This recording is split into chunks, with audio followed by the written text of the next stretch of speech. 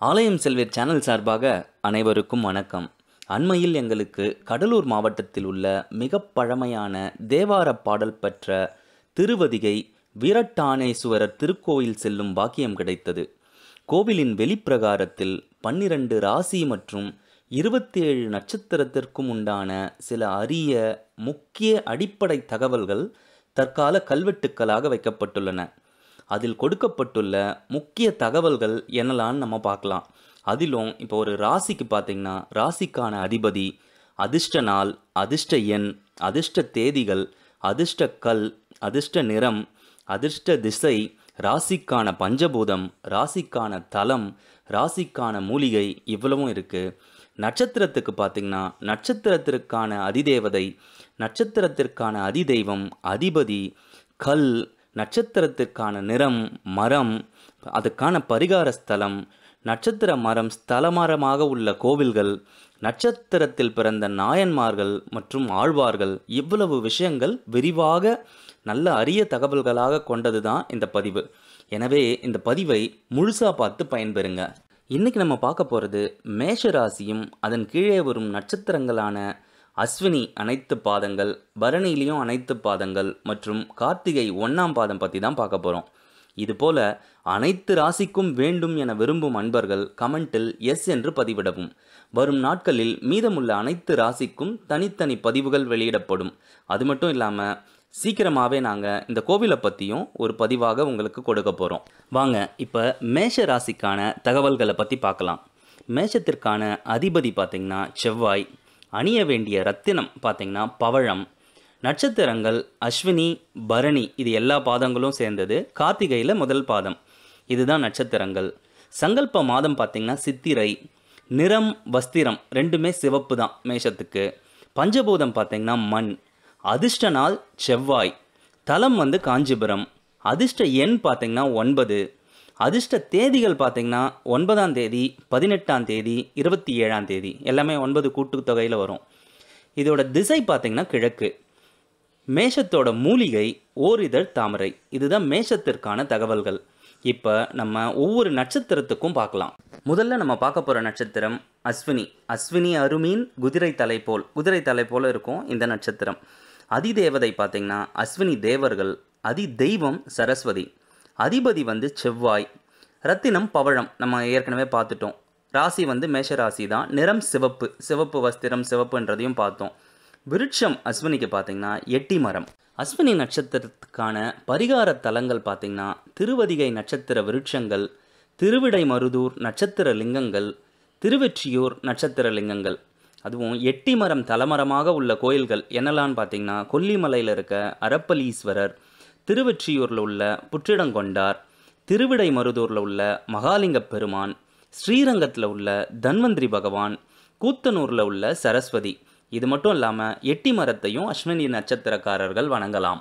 அஸ்வினியில் பிறந்தவர்கள் பார்த்தீங்கன்னா நாயன்மார்களில் திருமூலர் ருத்திர பசுபதியார் இவங்க ரெண்டு பேரும் நாயன்மார்கள் அஸ்வினியில் பிறந்திருக்காங்க.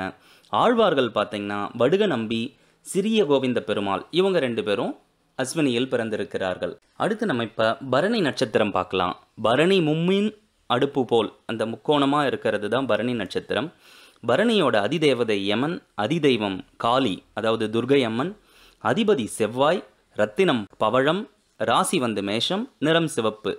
விருட்சம் பார்த்தீங்கன்னா நெல்லி மரம். இதுதான் பரணிக்கான மரம். பரணி நட்சத்திரத்திற்கான பரிகார தலங்கள் பார்த்தீங்கன்னா திருவதிகை நட்சத்திர விருட்சங்கள் லிங்கங்கள் திருவிடைமருதூரில் இருக்க நட்சத்திர லிங்கங்கள் திருவெற்றியூரில் இருக்க நட்சத்திர லிங்கங்கள். நெல்லி மரம் தலமாக உள்ள கோயில்களை கூட நம்ம வணங்கலாம். எங்கெல்லான்னு பார்த்தீங்கன்னா திருவாஞ்சியம் திருக்கடையூர் திருப்பைஞ்சீலி கொடியலூர் வெள்ளலூர். இது எல்லாத்துலேயும் இருக்க யமதர்மன் சன்னதியை வணங்கலாம். திருநெல்லிக்கால அம் அம்லகவனேஸ்வரர் இவரை வணங்கலாம். திருநெல்லிக்கால நெல்லிவனநாதரை வணங்கலாம். சிவபுரியில் உச்சிநாதர் ஜெயங்கொண்டம் கழுமலைநாதர் சோமநாதர் அதே போல் ஆரைவடதலி பட்டீஸ்வரம் பட்டீஸ்வரத்துலேயும் யமதர்மன் சன்னதி சுவாமி மலையில் சுவாமிநாத சுவாமி ஆவின்குடியில் குழந்தை வேலாயுத சுவாமி இவங்க எல்லாரையுமே நம்ம பரிகார தலங்களாக வணங்கலாம்.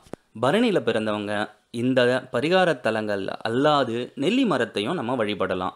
பரணியில் பிறந்தவர்கள் பார்த்திங்கன்னா நாயன்மார்களில் கழற்சிங்கர் சிறுதொண்டர் நின்ற சீர் நெடுமாறர் இவங்கெல்லாம் நாயன்மார்களாக பரணியில் பிறந்தவர்கள். ஆழ்வார்கள் பார்த்தீங்கன்னா மாதவ பெருமாள் பரணியில் பிறந்திருக்கிறார். கார்த்திகை ஒன்றாம் பாதத்துக்கு இப்போ நம்ம பார்க்கலாம். அதிதேவதை அக்னிதேவன் அதிதெய்வம் முருகப்பெருமான் அதிபதி செவ்வாய் ரத்தினம் பவழம் நிறம் சிறப்பு ராசி வந்து மேஷம். கார்த்திகை முதலாம் பாதத்தோட விருட்சம் பார்த்தீங்கன்னா ஆத்தி. பரிகாரத்தலம் தலம் பார்த்தீங்கன்னா திருவதிகை நட்சத்திர விருட்சங்கள் லிங்கங்கள் திருவிடை மருதூரோட நட்சத்திர லிங்கங்கள் திருவெற்றியூரோட நட்சத்திர லிங்கங்கள். அத்திமரம் தலமாக உள்ள கோயில்கள் என்னெல்லாம் பார்த்தீங்கன்னா திருப்புகலூரில் அகனீஸ்வரர் அனந்த சரஸ்வ சரஸ் புஷ்கரணியில் வந்து ஆதி அத்திவரதன் கீரனூரில் சிவலோகநாதர் திருவொற்றியூரில் வன்மீகநாதர் கானாட்டு முன்னூரில் பதஞ்சலி ஈஸ்வரர் காஞ்சியில் வரதராஜ பெருமான் திருச்செந்தூரில் முருகன் கோழிக்குத்தியில் வானமுட்டி பெருமான். இதெல்லாம் தான் அத்திமரம் தலமாக உள்ள கோவில்கள். இந்த கோவில்கள் அல்லாது அத்திமரத்தையும் நம்ம வழிபடலாம். கார்த்திகையில் பிறந்த நாயன்மார்கள் பார்த்தீங்கன்னா இடங்கழியார் புகழ்ச்சோழர் மூர்த்தியார் கணம்புல்லார். ஆழ்வார்கள் யாரெல்லாம் பிறந்திருக்காங்கன்னா திருமங்கை ஆழ்வார் உய்யங்கொண்டார் நம்பில்லை இவங்க எல்லோருமே கார்த்திகையில் பிறந்தவர்கள். இன்னைக்கு நம்ம மேஷராசியும் அதன் கீழே வரும் நட்சத்திரங்களான அஸ்வினி பரணி அனைத்து பாதங்கள் மற்றும் கார்த்திகை ஒன்றாம் பாதம் பற்றி பார்த்தோம். இந்த தகவல்கள் எல்லாமே சுவாரஸ்யமான தகவல்கள் மட்டுமன்றி நம்ம பயன்படுத்திக்கக்கூடிய தகவல்கள். நமக்கு என்ன நிறம் என்ன கல் நம்ம என்ன வழிபாடு செய்யணும் எந்த தலம் என்ன மரம் எல்லா விதமான தகவல்களும் இதில் இருந்தது. இந்த மாதிரி தகவல்கள் உங்களுக்கு பிடித்திருந்தா லைக் செய்யுங்க. உங்களுக்கு நெருங்கிய நண்பர்கள் மற்றும் உறவினர்கள் மேஷராசியில் இந்த நட்சத்திரங்கள்ல இருந்து அவங்களுக்கும் இதை ஷேர் செய்யுங்க. அவங்களுக்கும் இது பயன்படும். இன்னும் நம்ம சேனலை சப்ஸ்கிரைப் செய்யாத அன்பர்கள் சப்ஸ்கிரைப் செய்கிறது மட்டும் இல்லாமல் பெல் பட்டனையும் ப்ரெஸ் பண்ணுங்கள் அப்போது தான் நாங்கள் போட போகிற அடுத்து வரக்கூடிய ராசிகளுக்கான பதிவுகள் அனைத்துமே உங்களுக்கு நோட்டிஃபிகேஷனாக வரும். நன்றி வாழ்க வளமுடன்.